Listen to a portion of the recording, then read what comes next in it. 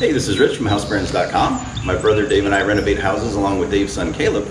And today we're going to review the Toro Time Cutter SS5000 zero turn riding mower. So you might be wondering why are we telling you about a riding mower at this time of the year? Because now it's August and mowing season is coming to a close.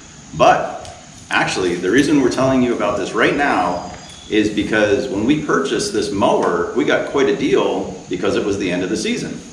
And so hopefully you'll be able to find a good deal too. I think this mower was listed at $3,200 and we were able to get it for $400 off. So we got it for 2,800 and for us, that's, that's a great savings and we couldn't wait to use it the following spring.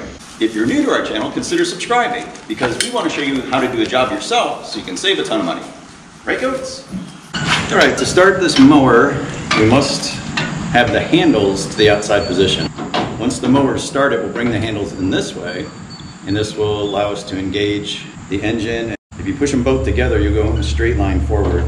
If you pull toward yourself, you'll go in a straight line backward. You can also go left by pushing just this one forward, and you can go right by just pushing this one forward. If you've never driven a mower that has handles, when you first get on it and initially use it, there is a little bit of an adjustment period if you're used to using a steering wheel. You can make pretty sudden movements by moving one of these handles, you know, forward and the other one not. And so it's a good idea just to practice in an open field for a while until you get the hang of it. It'll just take a short while and then you'll get it. But anyway, so that's forward, pull it toward yourself to go in reverse. If you need to stop, all you gotta do is pull the handles apart and the mower will stop moving. So if you don't remember anything else, just remember this one idea. Pull apart, now you're gonna stop. All right, so in order to start this mower, these handles have to be apart. That's number one. We have to have the PTO not engaged, which means we're gonna have this yellow button pushed all the way down. When we pull it up, that engages the mower blade. So rabbit is at the top and that's the fastest speed and turtle's at the bottom. So we're gonna put it about in the middle, but just a little bit toward the turtle just to start it. Once the engine starts, we'll throttle up and we'll start moving. We have to have the choke on. There's this little knob and you pull it up and that engages the choke. And then once we get started, we will turn the choke back off and we'll throttle up. So here we go.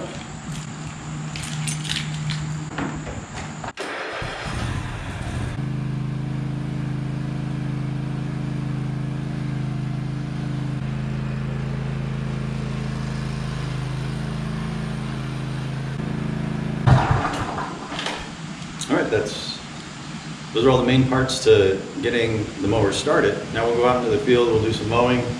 And so the only additional thing I'm gonna do is when I'm ready to start mowing, I will pull this yellow knob up and that's gonna engage the blades and then we can start mowing.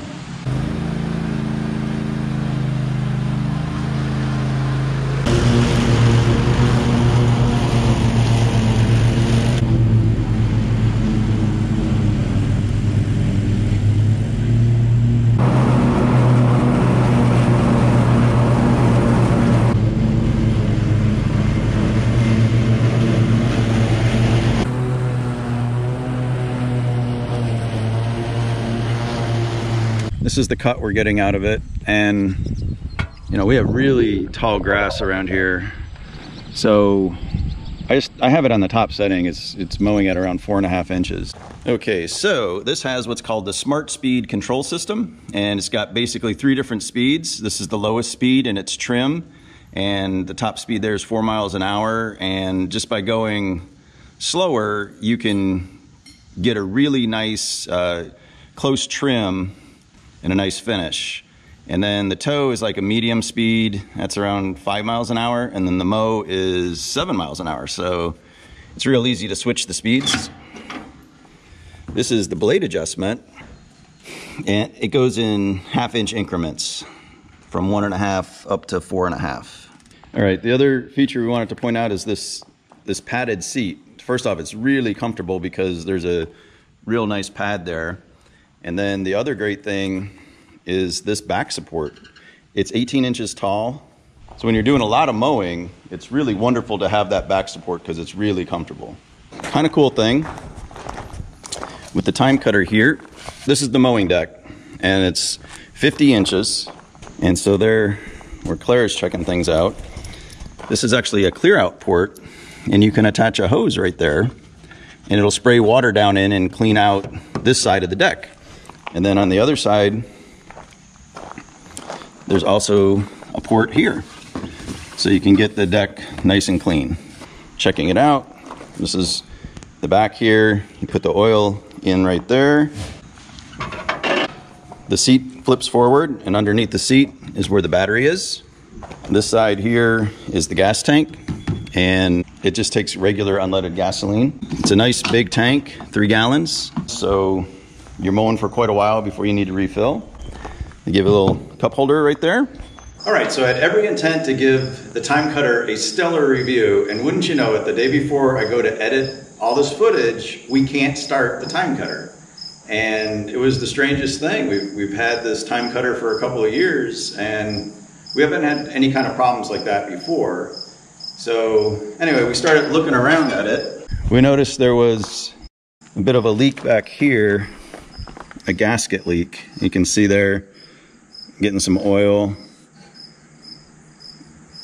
that's coming out and we don't know if we don't know exactly if that had anything to do with the reason it wouldn't start. I mean, the spark plugs are close by, so don't know if there was some interference there. But anyway, just wanted to let you know that there could be some maintenance issues with the time cutter, but then again, there could be maintenance issues with any engine. And we are probably giving the time this particular time cutter quite quite a workout because the terrain on our farm is not even and we tend to go pretty fast on the time cutter. So it's it's definitely getting a workout and honestly we might be a little bit uh, too tough on it. We'll talk about some of the cons and really the only cons that we have for this mower is that there are some maintenance issues uh, a drive belt slipped the other day and we had to have that repaired and the battery recently died, so this is just our second season of using this mower. So, you know, that's seems like a bit of a short life. It was the factory battery, and we had to replace it. And in addition, we've had a flat tire, but that could be because we've got we're we're doing construction all over this farm, and who knows, maybe we ran over a nail or a screw or something. Nothing too out of the ordinary. Um, as far as pros go, well, there's many. First off, it's really easy to use. Once you get used to using handles instead of a steering wheel, you can just pretty much fly around wherever you need to go. Also, it's really maneuverable, and that's quite helpful for us out at this farm. We have a lot of tight areas that we need to get in and out of, and we're trimming around Christmas trees and all kinds of different areas. And so the zero turn mower is absolutely perfect for getting it in and out of these close, difficult areas to mow. Another pro is that it's inexpensive. And you, are saying, oh, wait, this is listed at $3,200. How can you say that's inexpensive? So I should say relatively inexpensive.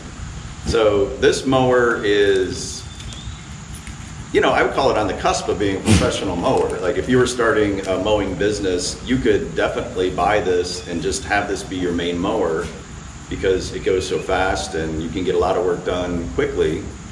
So when we're looking at pro mowers, those are like six, seven thousand dollars. So I would much rather spend, you know, around three thousand and have a mower that'll do the job and we can save that money and use it somewhere else. So compared to the other Pro models, it, it is inexpensive. It's about half the cost.